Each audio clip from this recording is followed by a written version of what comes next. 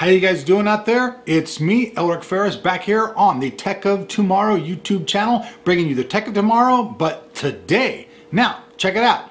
Today I got something pretty cool from the people over at Patriot. This is their Patriot Pyro SE 240 gigabyte SSD drive. Now this thing's got some pretty cool features. It uses the latest SandForce controller. It's supposed to have read and write speeds up to 500 500. It's 2.5 inch form factor. SATA 3 uses MLC technology. That's multi-level cell. There's single level cell and multi-level cell technology in NAND. The SLC stuff is usually geared for enterprise stuff is very costly. All the ones you guys usually see in the market are MLC. So that said, I've got my nice trusty Punisher knife. I'm to be using this to do my unboxing. So I'm to take the little trusty knife right here at the top. This little piece of plastic here. I'm going to go ahead and just cut that. Do a little rippy rippy. So I was just really just one quick knife cut and then I'm just going to go ahead and peel all the plastic off. Gonna go and throw the knife at the cameraman. no, just kidding. that would hurt him. Then who would film the damn videos, right? You guys know what I'm talking about. So here's the outside of the package. So you guys can see the box, not much to it. Patriot has their own little color scheme going on here. It's very similar to the same colors that they use in OCZ. Their drives look kind of the same. Flip it around, let you guys see the back side. So we'll start off the unboxing. There's a little tab right here. I'm gonna go ahead and pop that little tab there with my hands there. There we go, remove that slide the drive out. You guys see it's all in plastic housing. There's only one other thing in there. That is this Patriot Pyro SSD SATA 3 little thingy here.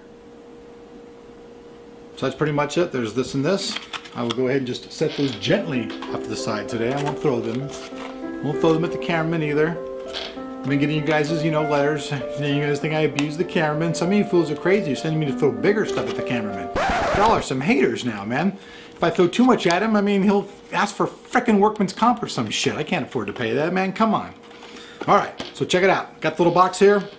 All there really is to this box is this. So I'm gonna take the tab, pop the top, go ahead and pull the drive out. You guys can see right here, here is your SATA and your power connector right there. The drive is very small. 2.5 inch form factor like we said before all these this way. In fact most of all the latest cases I've been seeing and reviewing are all coming with a place to put your SSD drive so that's pretty cool. Get a good glimpse of the front there. So you guys can see the back of the drive right here